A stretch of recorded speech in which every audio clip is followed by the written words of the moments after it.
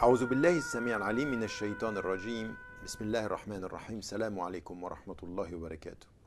Nous poursuivons nos réflexions sur les résistances et il en est une également qui est presque évidente, c'est la résistance à notre propre lâcheté, à la lâcheté.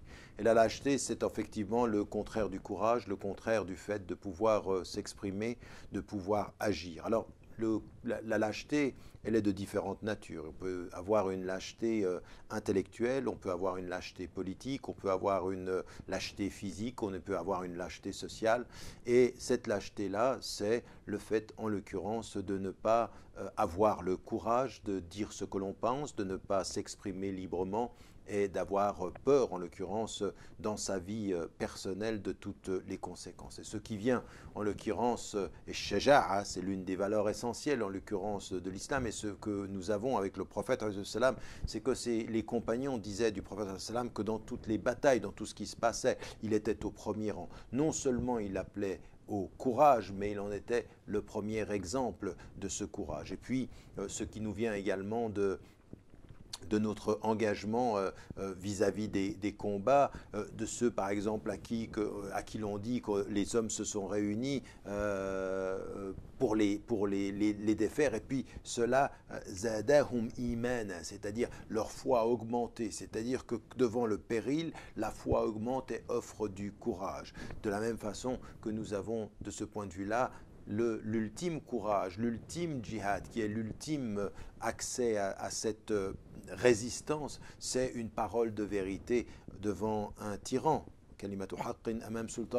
Ça, c'est aussi une dimension de ce courage. Et donc, ici, la formation spirituelle, l'engagement avec Dieu, c'est de s'en remettre à lui, de s'en remettre à sa présence, à son soutien, et puis en même temps de regarder les hommes et de, de lutter contre ses peurs, donc ça c'est l'émotion, et puis d'agir avec courage, d'oser dire les choses, de ne pas attendre le jugement des hommes, de savoir que finalement il vaut mieux une parole de vérité, même si tous les hommes nous jugent mal, et que ceux qui changent les sociétés, ce sont ceux qui ont ce courage de l'engagement. Alors le courage de la parole, de dire, le courage intellectuel de penser seul, même parfois de penser contre les autres, le courage de s'assumer, de, ne pas se laisser euh, euh, juger par les autres ou réduire par les autres, même dans la communauté spirituelle, même parmi les musulmans, dont certains parfois sont plus des juges que des frères, et qui parfois euh, essayent de réduire ou de diminuer leurs frères et leurs sœurs en islam. Et donc euh, ici, cette dimension, elle est à l'intérieur de soi, elle est dans la communauté, elle est individuelle, elle est euh, politique aussi, elle est collective.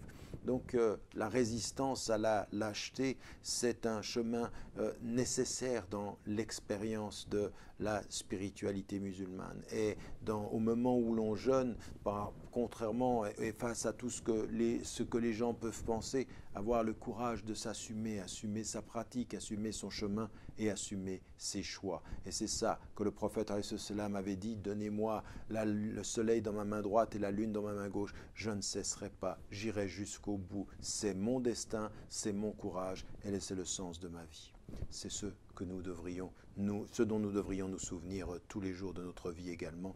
N'oubliez pas, n'oubliez jamais de dire à ceux que vous aimez que vous les aimez. Et rappelez-vous que la vie est fragile. Wassalamu alaikum wa rahmatullahi wa barakatuh.